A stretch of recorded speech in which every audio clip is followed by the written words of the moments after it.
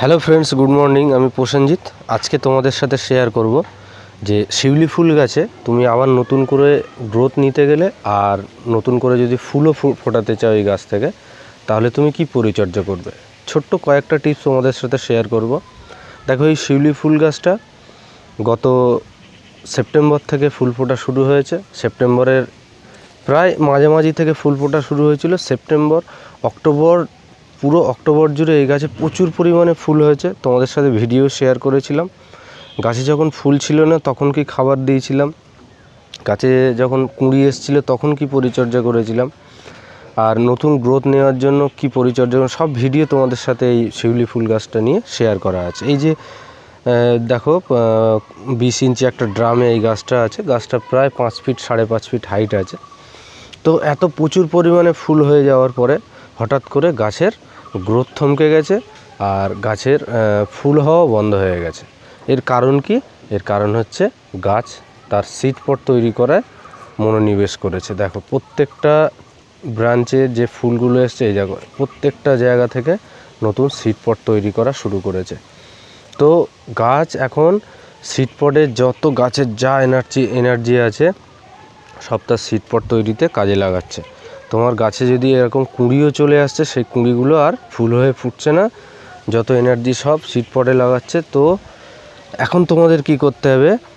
যে গাছে যে সিট পটগুলো আছে, তুমি তোমার প্রিয়জনদের জন্য দশটা, পনেরোটা তুমি রেখে দাও। সিট পট যদি রাখতে চাও, যদি কাউকে গিফট করতে হয়, রেখে দিয়ে বাকি যা সিটপট আছে, সব তুমি রিমুভ করে দাও। কীভাবে রিমুভ করবে? দেখো, এই ব্রাঞ্চটায় দেখাচ্ছি, এই যে দেখো, এখানটায় দেখো একটা ছোট্ট ফুল হওয়ার চেষ্টা হচ্ছিল, কিন্তু কোনো রকম এনার্জি নেই কোনো রকম জোর পাচ্ছে না গাছ। এই যে পাশ থেকেই দেখো আবার নতুন সিটপট তৈরি হচ্ছে। তো এই সময় কি করতে হবে? এই সিটপটগুলো তোমায় রিমুভ করতে হবে, কীভাবে রিমুভ করবে? যেখান থেকে দেখো নতুন গ্রোথ দেখো, এই যে গাছের এখান থেকে সব নতুন নতুন ব্রাঞ্চ তৈরি হচ্ছে, নতুন নতুন সব গোড়া থেকে নতুন ব্রাঞ্চ তৈরি হচ্ছে, এইগুলো আবার নতুন করে গ্রোথ আসবে। যদি তুমি তোমার গাছ থেকে সিটপট রিমুভ করতে পারো।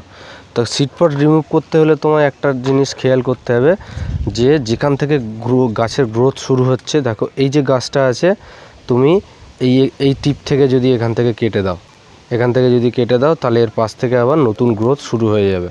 অ্যাটলিস্ট গ্রোথ শুরু হোক না হোক, তোমার গাছটা অন্তত স্ট্রেসে থাকবে না। এত পরিমাণে সিটপট যদি তোমার গাছে রাখো তাহলে গাছটা তো অনেকটা স্ট্রেস ফিল করবে যে এত সিটপট তৈরি করতে গাছ যা খাবার খাবে, মোটামুটিভাবে সব সিটপটে তার এনার্জি ব্যয় করবে। তো গাছের গ্রোথ হোক না হোক, তোমায় সিটপটগুলো অবশ্যই করে কেটে দিতে হবে। সিটপট কাটলে গাছের গ্রোথ অবশ্যই হবে। প্রত্যেকটা টিপ থেকে দেখো, তুমি বেছে বেছে কয়েকটা রেখে দেবে, রেখে দিয়ে যদি দিতে চাও কাউ, কোনো প্রিয়জনকে গিফট করতে চাও, তাহলে রেখে দিয়ে বাকিটা তুমি সব রিমুভ করে দেবে। কারণ এই যে গ্রিন কালারের যে যে সিটগুলো আছে না, এগুলো ব্রাউন হতে অনেক টাইম লাগবে। এগুলো ব্রাউন হবে, তবেই ম্যাচিওর হবে। এখন কিন্তু এগুলো সবে তৈরি হচ্ছে, এগুলো পুরোপুরি তৈরি হয়নি। এগুলো পাকবে যখন, তখন ব্রাউন হবে। ব্রাউন হতে অনেকটা টাইম লেগে যাবে। তো প্রত্যেকটা ব্রাঞ্চ থেকে এই যে এখানে একটা সিট পট আছে তুমি এরম জায়গা থেকে এখান থেকে সিটপটটা রিমুভ করে দাও। তখন দেখো, আমি গাছ থেকে যতটা সম্ভব পেরেছি, আমি সিট পটগুলো কেটে দিয়েছি। অল্প অল্প একটু ব্রাঞ্চ বাদ গেছে। তো এই সিট পটগুলো কাটার পরে তোমায় গাছে একটু খাবার অ্যাপ্লাই করতে হবে। তুমি কি খাবার অ্যাপ্লাই করবে? দেখো, আমরা সবাই তো মাইক্রোনিউট্রিয়েন্ট ইউজ করি। তোমার কাছে যদি সিউইড থাকে, তো সিউইড নিয়ে যদি দানা আকারে থাকে, তাহলে দানা আকারে নেবে। যদি দশ থেকে বারো ইঞ্চি টব হয়, তাহলে তুমি টেবিল চামচের এক চামচ নিয়ে গাছের গোড়ায় দিয়ে সুন্দর করে জল ঢেলে দেবে। আর যদি লিকুইড ফর্মে থাকে, এক লিটার জলে দুই এম নেবে। দুই এম এল নিয়ে সুন্দর করে গাছের গোড়ায় দিয়ে দেবে। দিয়ে পাতাতেও তুমি স্প্রে করতে পারো, তাহলে আরও ভালো রেজাল্ট পাবে। আর তোমার কাছে যদি সিউড এক্সট্রাক্ট না থাকে, যদি মোবোমিন থাকে, তাহলে মোবোমিন দিতে পারো। আর যদি অ্যাগ্রোমিন গোল্ড থাকে অ্যাগ্রোমিন গোল্ডও তুমি পাতায় স্প্রে প্লাস দু এম এল এক লিটার জলে গুলে গাছের গোড়ায় তুমি অ্যাপ্লাই করতে পারো।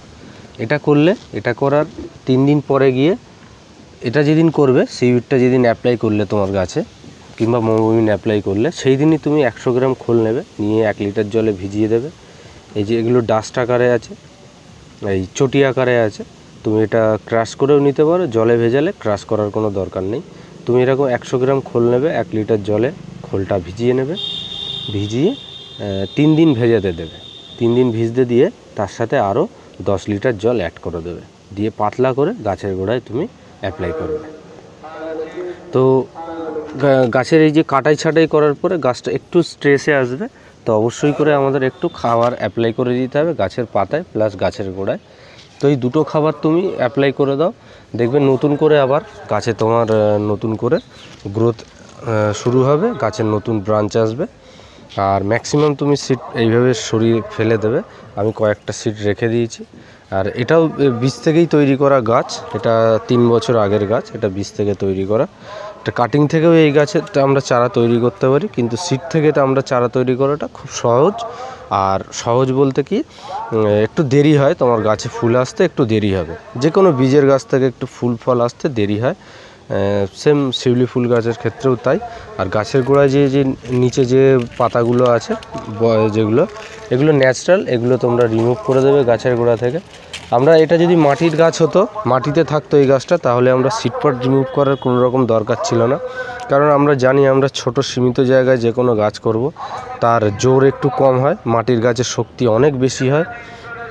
তো মাটির গাছে এই সবগুলো করার দরকার হয় না। ন্যাচারালি সিটপট তৈরি করবে, আবার ঝরে যাবে, পাতা ঝরে যাবে, আবার বর্ষাকালে নতুন গ্রোথ নেবে, নিয়ে আবার সেপ্টেম্বর অক্টোবরে গিয়ে আবার নতুন কুড়িয়ে এসে ফুল চলে আসবে। তো মাটির গাছ নিয়ে আমাদের এসব চিন্তাভাবনা কোনো দরকার নেই। তো ভিডিওটা আজ এখানেই শেষ করছি। এই ছিল শৈলী ফুল গাছ নিয়ে আমার ছোট্ট ভিডিও ইনফরমেশন ভিডিওটা তোমাদের যদি ভালো লাগে অবশ্যই লাইক করো সাবস্ক্রাইব করো। Till then bye thank you তোমার মূল্যবান সময় নিয়ে ভিডিওটা দেখার জন্য তোমাদের অনেক ধন্যবাদ।